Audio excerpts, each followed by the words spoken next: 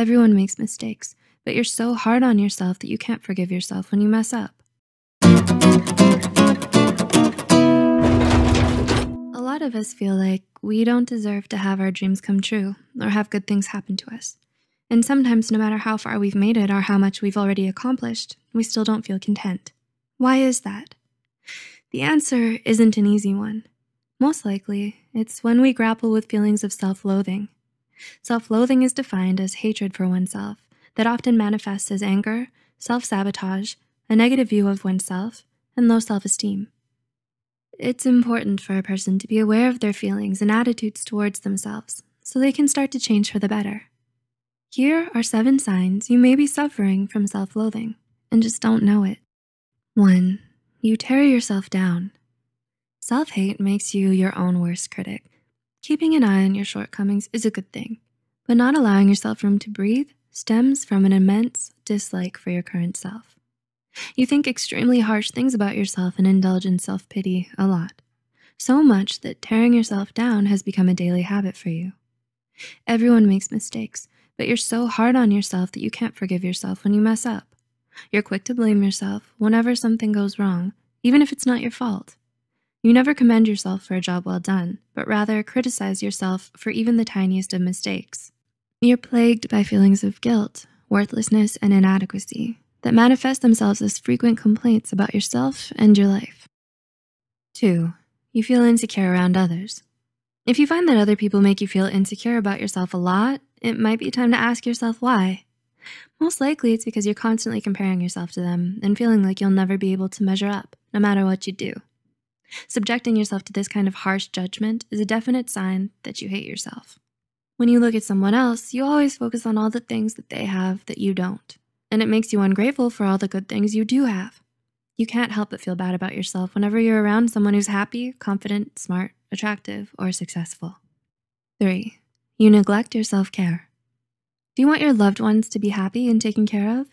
Chances are you probably answered yes right away, because when you love someone, you want what's best for them. So if you really loved yourself, you'd want that for you too. This is why neglecting your self care is a form of self hatred. You don't sleep well, you're not eating right, you don't exercise, you don't try to look nice for yourself, and you don't do things that make you happy. It's not that you don't have the time or can't be bothered enough. It's more about refusing yourself the pampering because of a deep seated grudge with yourself. Since your insides are at war with you, it only seems right to let yourself show it outwardly as well. So when you look in the mirror, all you see is a haggard reflection, unworthy of love, and that's how you like it. Four, you don't let yourself be happy. You're a pessimist who's quick at finding the negative aspect in every situation. You're wary of compliments or praise because it seems mocking. You don't see yourself in a positive light and refuse to believe what others say.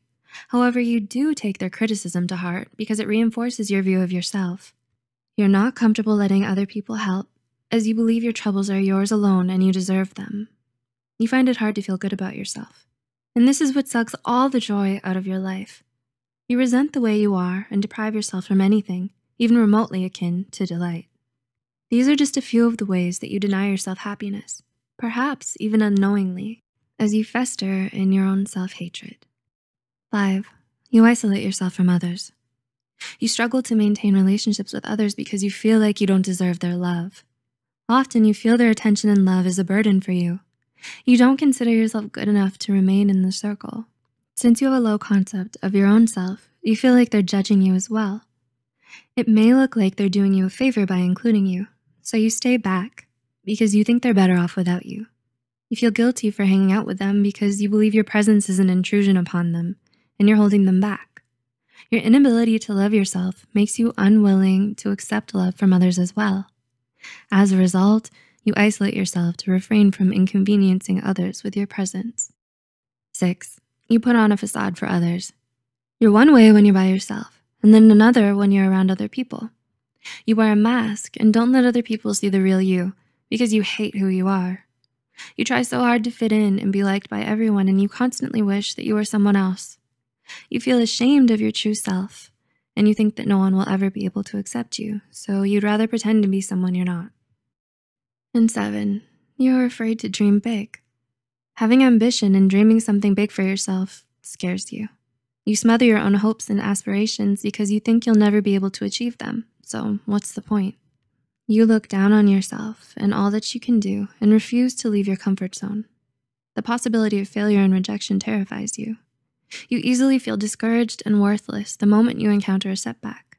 You deny yourself opportunities to grow and have new experiences because you don't believe in yourself. Your insecurities make it hard for you to see your capabilities and you can't allow yourself to succeed. We all have a lot of self-destructive behaviors that are toxic for our mental health and emotional well-being. So many of us struggle with feelings of insecurity, emptiness, and worthlessness that it can sometimes lead us to hating ourselves. Becoming more aware of your self-hatred makes it easier for you to overcome it. And with time, patience, support, and dedication, you can learn to love yourself and live a happier, healthier life. Did these points remind you of someone, maybe yourself? Can you now see where such behavior stems from and why? Do these points make it easier for you to name your emotions and behaviors? Please let us know in the comments below. Also share this video with anyone you think might benefit from it, and we'll see you in the next one.